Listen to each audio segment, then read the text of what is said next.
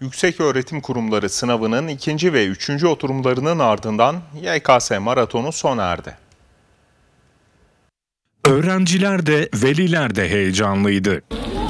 Bir dakika sonra kapılar kapanacak arkadaşlar. Giren varsa acele etsin. Elazığ'da YKS'nin ikinci oturumu olan alan yeterlilik testine girecek binlerce öğrenci sabahın erken saatlerinde sınava girecekleri okulun yolunu tuttu. Heyecanlı değilim çünkü Güney'i gördüm. Sorular çok kötüydü bence. Sosyal felsefe zorlar, soruları çok zordu. Türkçe de aynı şekilde. Matematik kolay sormuşlar bu sefer. Her sene bir şeyi batırıyorlar zaten. O yüzden hiç güzel değildi yani sorular. Hedefim yani tarih öğretmenliği falan okumak istiyorum. Yani dün heyecanlıydım da bugün heyecanlı değilim. Yendim heyecanını. Zaten ikinci girişim.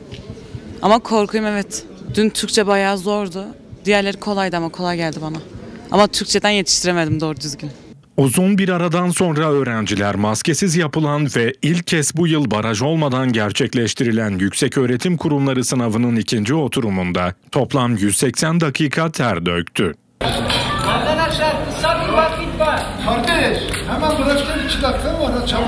Öğrenciler okul sıralarında ter dökerken aileleri de dışarıda çocukları için dualar etti. Tabii ben de babası olarak e, ben de üzülüyorum çocukların bu şekilde olmasına ama hani benim iki kızım birden üniversite sınavına girdi. Dün e, bir tanesi bugün büyüğü giriyor.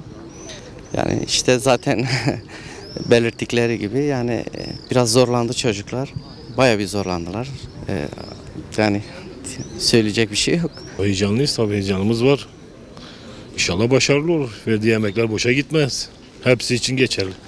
Allah Allah hepsinin yardımcısı olsun. Çalışan hak eden kazansın. Ne bileyim yani okusan olacak o da var. Bitirsen olacak. Türkiye şartlarında.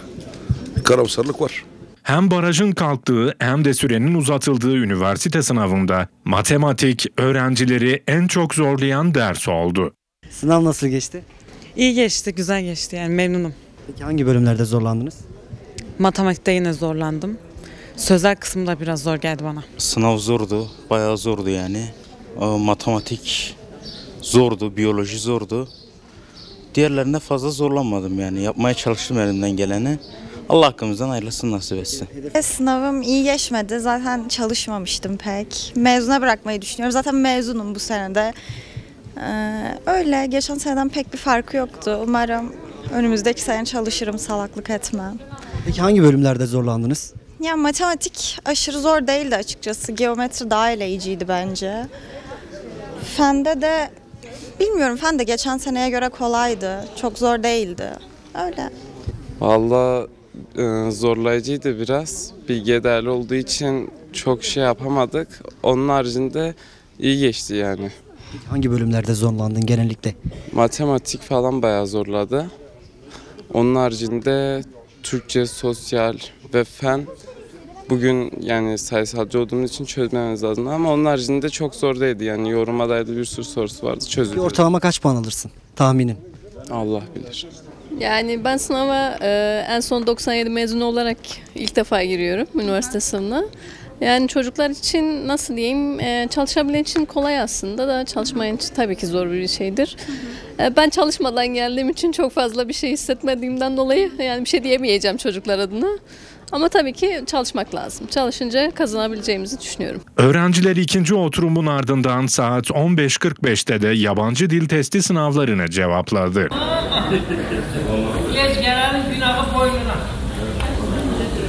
Öte yandan sınav yerine giderken trafik kazası yapan bir aday da tedavisinin ardından 112 acil ekipleri tarafından ambulansla sınava gireceği okula yetiştirildi. Elazığ Gençlik ve Spor İl Müdürlüğü'ne bağlı gönüllü üyelerde yükseköğretim kurumları sınavına giren öğrencilere ve ailelerine ikramda bulunurken köy okulları için kalem topladı. Gençlik merkezi olarak sınava giren öğrencilerin yanındayız.